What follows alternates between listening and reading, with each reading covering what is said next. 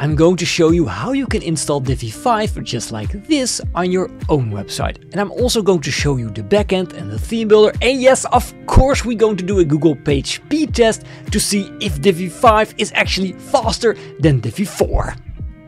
To get Divi 5, we go to wp.discount slash Divi this link is also in the comment section and in the description of this video. And via my link you get this 10% discount off for Divi because you need a license to get the Divi 5 public alpha. If you are still on the Divi yearly plan, don't forget to switch to the Divi lifetime plan because it will just save you a lot of money in the long run. If you already have Divi, we go over here to account and we log in.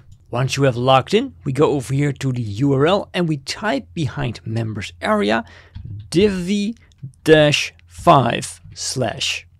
That's what you need to do. Then we press enter. Then we scroll down over here and we go to download the Divi 5 Alpha. Click on it and we got it. Now remember that Elegant Theme says that we do not recommend it, put it on a live website. For this update, I'm going to use this Divi 4 website. I've created an entire tutorial about it, how to create this without any plugins. So this website should be good in migrating to Divi 5 because we don't have any plugins installed on this website except for just Divi. So let's log into our site. If you're still logging in using WP admin, no! Nope, no! Make sure to watch my security tutorial to get your website secured. To install Divi 5, go to Appearance and Themes. Then we go to Add New Theme over there. Upload Theme. Then we go to our Downloads folder and we select Divi 5 and press Open. And we press Install Now. Did I mention that you have to do this on a staging website because you don't know what will happen? Then it says a theme has already been installed. Do you want to upload the 5 public alpha number 2? Yes, replace active with uploaded. There we go. Then we go to appearance, themes. I must say this looks pretty promising. The first thing we need to do is go to Divi, Divi 5 Migrator. Now when we scroll down, we can see that all the pages and projects and posts are all compatible with Divi 5 Alpha. You can see all these check marks. But when I try to do this on my e-commerce website with a lot of plugins, all WooCommerce based, I see this. The body template is incompatible, the theme builder layout WooCommerce module, and also two pages, the cart and the checkout. I would wait just a little bit longer until the Divi Alpha version 3 releases, and maybe in that one all the WooCommerce modules are also working. But on this website all looks good, so we click on this magical button. Are you sure? Elegant Themes warns us this is just a alpha version. Remember not to do this on a live website. Well, we are on a subdomain, so all is good. Let's press confirm. Wow, that was insanely quick. Alright, let's see how this website works. Open link in a new tab. Uh, uh, there's something wrong with my menu. It's completely gone and also it's not full width. That's why we always have to do this on a staging website. For the rest it all looks great, but something's wrong with the full width. Let's just edit this page with Divi. Here we go. Whoa, that was really fast. Amazing. This looks even better than what I had when first testing out the Divi 5. I do like this. Oh, this works even better than it was before. Excellent. Instantly, I love this. There's also a new feature in here, Dark Mode UI. Now this is actually really nice. What also would be nice if you hit that like button and subscribe to my channel. All these things are very useful. And we can see on the left side the menu that was always below here in the purple dots and it just works instantly now. Look at this, layers, switching to the wireframe view, it's just all instantly. I love that very much.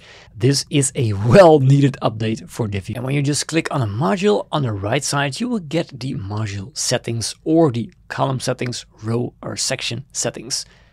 Just the same as Divi 4, no changes in here. We can undock this entire thing, put it over there and just resize it however you want. Or we can also dock it on the left side for all time's sakes. But let's put it in the center now. What I immediately notice is with Divi 4, we could close the different kind of options that we were not using. Just fold them in. That's not possible in Divi 5 right now. I really hope they bring that back because I love that.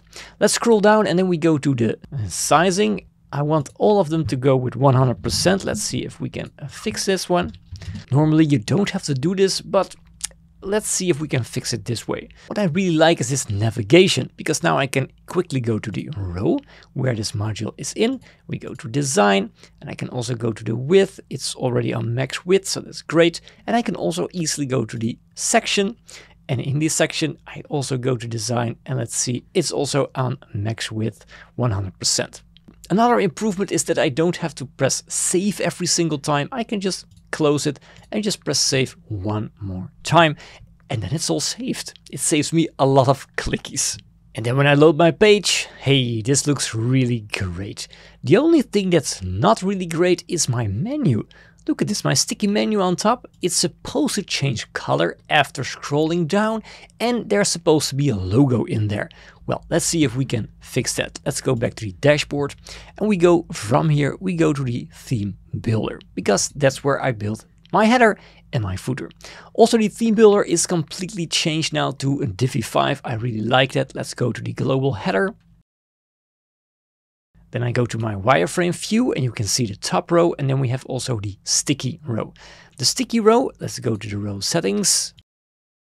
And I can see on the right side over here, I have a background color which is transparent, but then I have to change to sticky modus to get another color. In Divi 4, the sticky modus was next to the option. So with every single option you wanted to change, you have to switch per option to the sticky mode. In Divi 5, they improved this dramatically.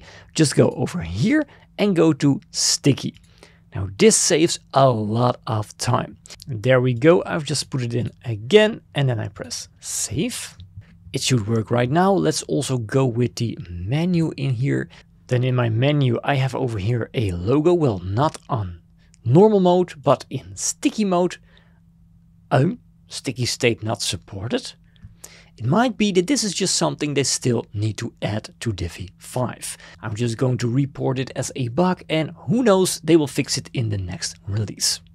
But besides that, everything seems to work really great on my website. All the animation work, the colors, everything is in the right place, just the way it should be.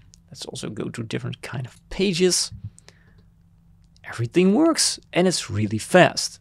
But talking about speed, let's check out how fast Divi 4 is compared to Divi 5. Same hosting, same website, let's go. On mobile we have a 32 on the original Divi 4 website and on desktop a 78. Aww. Not that good anymore in 2025, I'm so sorry. Then let's go to PageSpeed Insight on Divi 5. Here we go on mobile, 90 out of the box, exactly the same website and on desktop also a 90. Needless to say, it was exactly what we needed and what we expected from Divi 5. The exact same website, no caching plugins, and this is a huge difference. I am really happy with this one. If you do want to make a test yourself, I recommend you to create a subdomain, something like this, or you can just test this website in Google PageSpeed, just put it in. This website will still be live for a month or so, so you can just try it out yourself. If you have an opinion on Divi 5, put it in the comments. I'd love to read it and join the discussion. Have a great day and I'll see you in maybe this video.